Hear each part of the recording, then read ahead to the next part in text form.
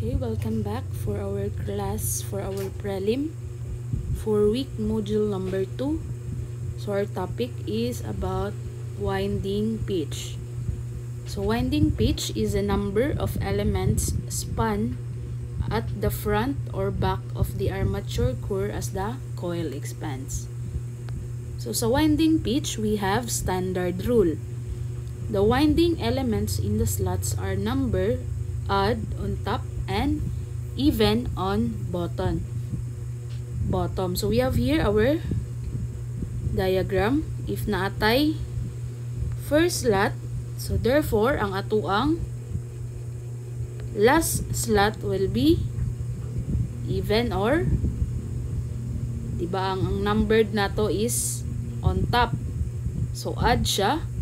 So 1 So, therefore, our stand as a standard rule, our bottom is even. We have here. So, the winding expansion must be from the top element to the bottom element. So, we have here an example. So, from element 1, so dapat ang ato bottom will be element 10.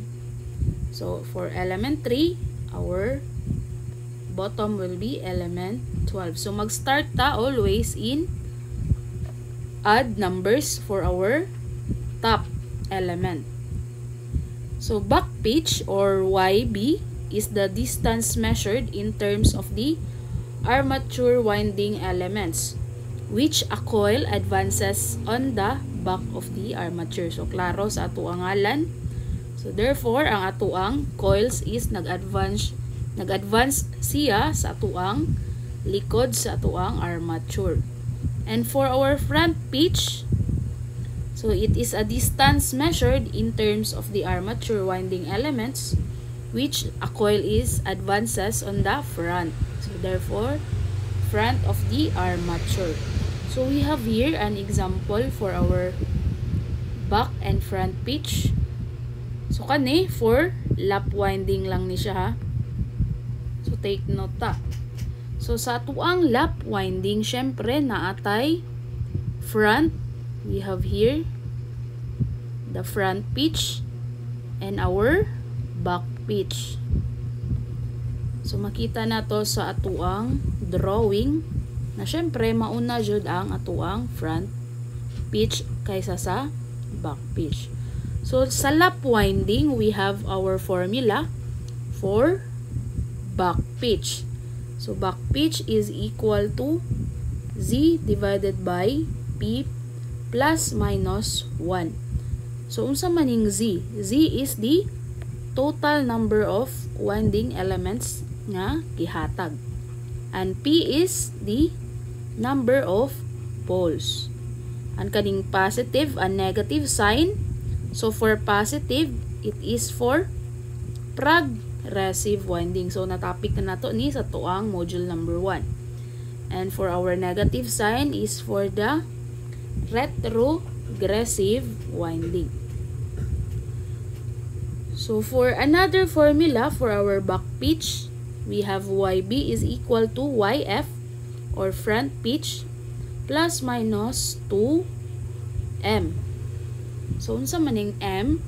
M is the multiplicity factor or ginatawag po siya og flex factor. So, our M for simplex winding, we have 1. And for our duplex, we have 2. And 3 is for triplex winding. So, sa lap winding to, so there, di ba duha ato ang types sa winding. So, we have the number 2, the wave winding. So, kaning wave winding is lahi pud ang iyahang formula. So we have here our diagram. So in our back pitch, una siya. And next is ang atuang front pitch. So we have our formula for our YB. So YB is equals atuang YF So, nearly equal to the pole pitch. So, therefore, Y average, pitch average na to is 1 half multiply sa YB plus YF. And we have also another formula if given ang ato ang total number of winding elements and our number of poles, we have Z plus minus 2 over P. So, dapat must be an even integer.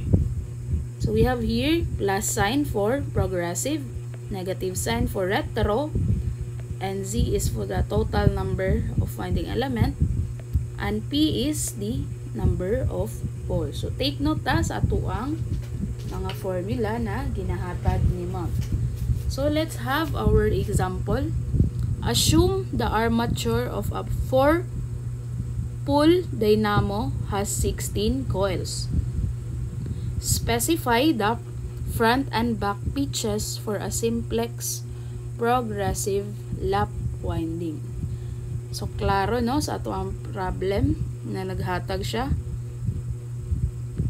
Lap winding. So, sa lap winding,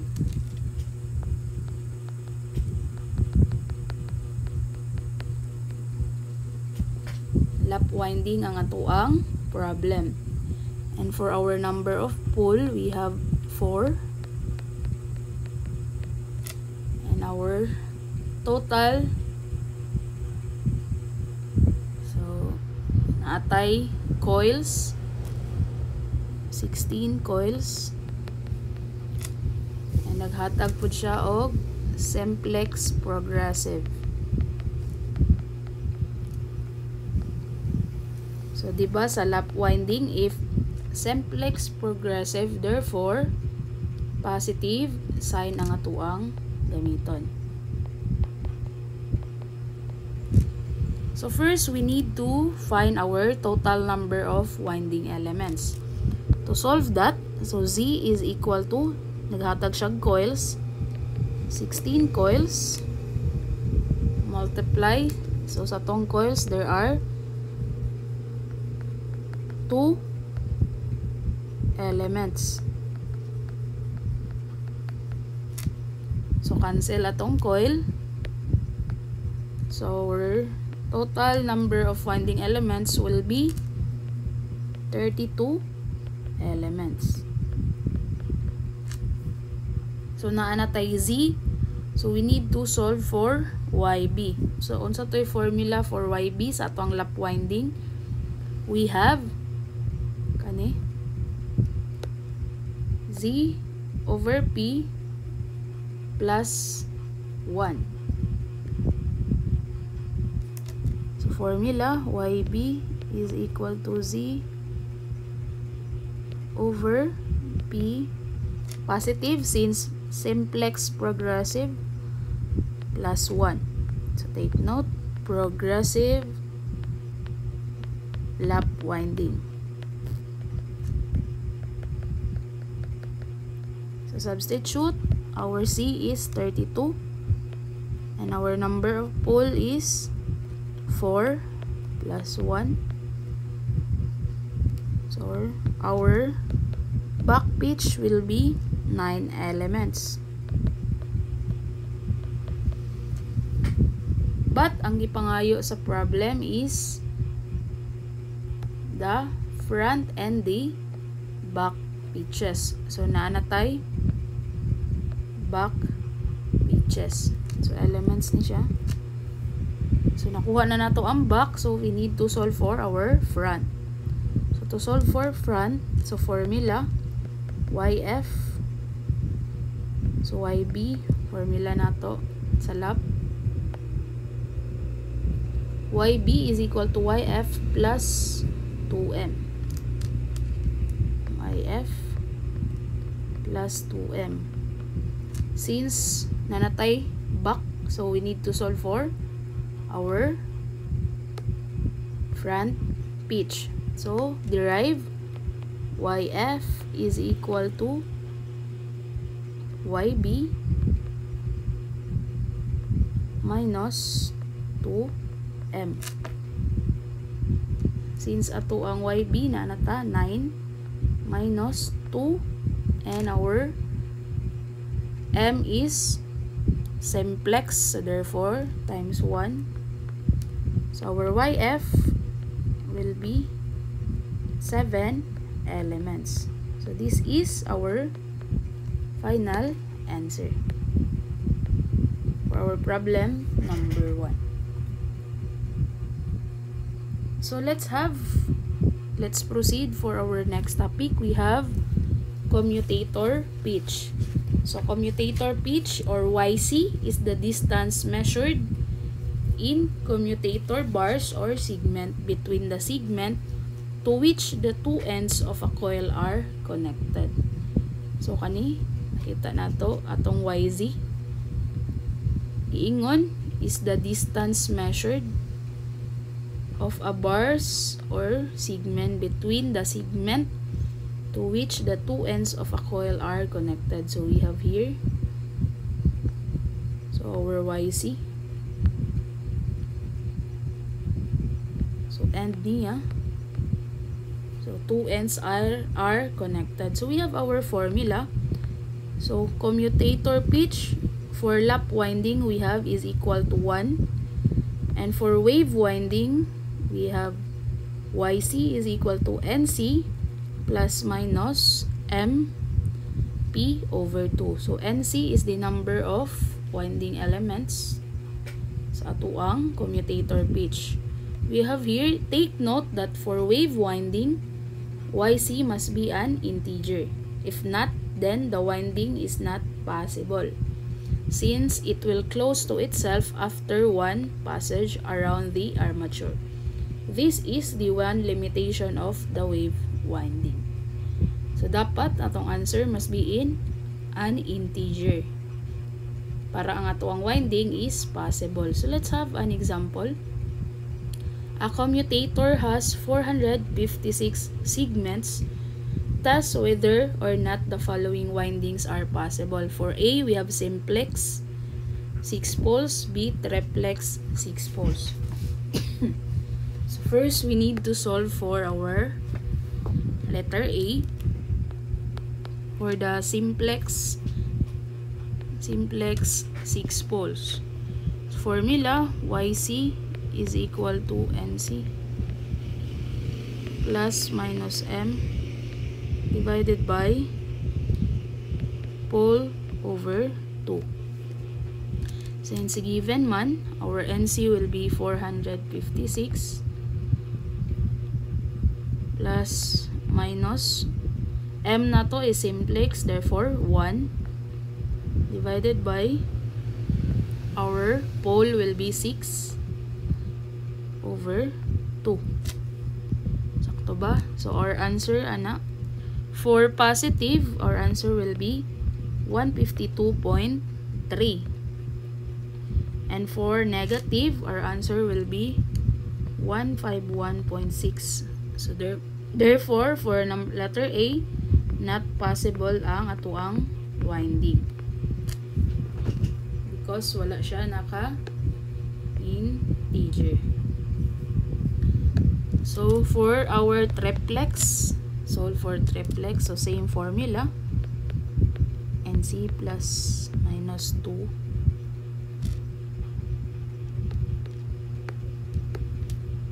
M divided by P over 2. So, 456 plus minus, so triplex, our M will be 3 divided by 6 over 2. So, for positive 3, for 5, 6, positive 3, our answer will be 151. And for negative 3, our answer will be 153. So, therefore, sa triplex nga 6 poles, our winding is possible. This is our final answer. Okay? So, nasabtan ra no? Since formula base, very basic ra sa tuwa. So, proceed for another topic. We have number of commutator segments. So, each commutator seg segment or bar has two winding elements are connected to it. Since each coil has two winding elements, Thus, the number of commutator bars is equal to the number of coils. So, giingon dere, So, number of commutator na to is equal sa ato ang number of coils because of the two winding elements. So, we have an example for our commutator segments. So, sa two elements per bar, equal radii ang ato ang number of coils. So, NC is stand for number of commutator bars. So, let's have an example for this number of commutator segments. So, a 6-pole dynamo requires 360 conductors on its armature. With 3 turns per coil and 2 coil side per slot, determine the number of commutator bars. So, sa itong problem, naghatag siya og number of conductors. Actually, 360 conductors. But giingon pod So take note sa ato ang problem. Sabto nato so two coil per slot means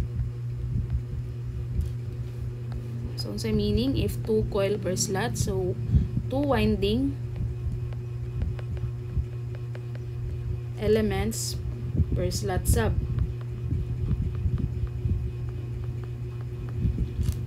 For a simplex winding.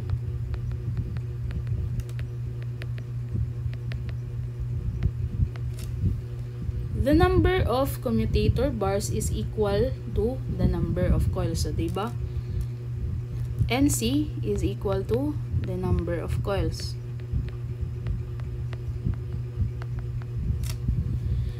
With 3 turns per coil, giingon man there is a problem nga 3 turns per coil.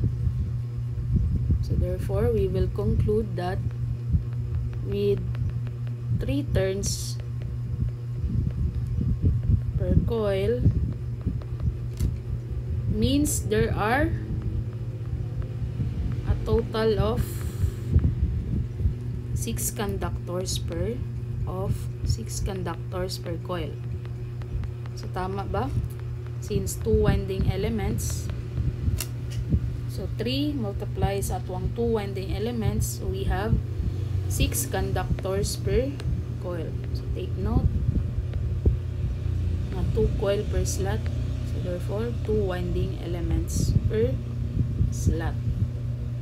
So to solve for our NC or the number of commutator bars, so we have N, we need to solve for our N.